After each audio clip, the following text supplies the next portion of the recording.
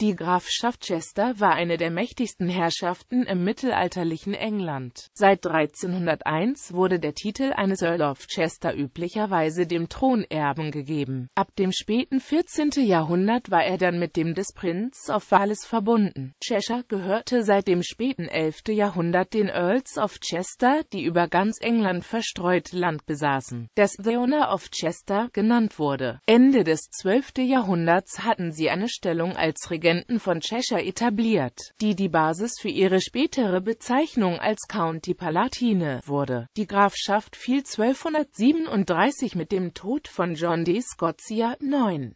Earl of Huntingdon an die Krone, dem siebten und letzten Earl, und wurde 1246 als Krongut eingezogen König Heinrich III. gab die Herrschaft Chester 1254 an seinen Sohn Eduard, den späteren König Eduard I., der wiederum Titel und Land an seinen Sohn, den ersten englischen Prinz of Wales gab. Zu dieser Zeit bestand die Grafschaft Cheshire aus zwei Countys, Cheshire und Flintshire. Die Einrichtung der königlichen Herrschaft in Chester ermöglichte Königs Eduard Ski. Eroberung von Nordwales und Chester spielte eine wesentliche Rolle als Nachschubbasis Basis während der Walisischen Kriege, so dass die separate Organisation als County Palatine gerechtfertigt war.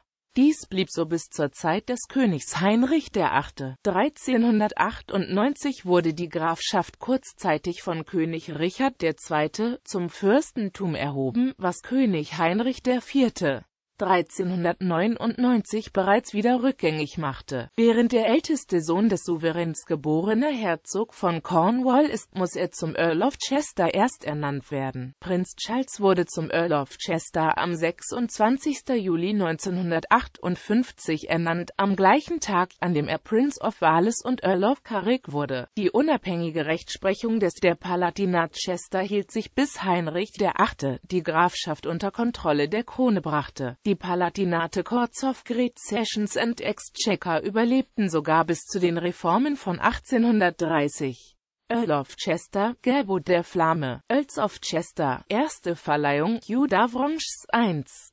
Earl of Chester, Vizegraf von Avranches, Richard d'Avranches, zweite Earl of Chester, Vizegraf von Avranches, Earls of Chester, 2.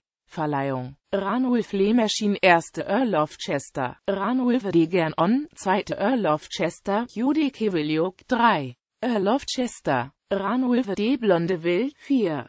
Earl of Chester, Earls of Chester, dritte Verleihung, John de Scotia 9.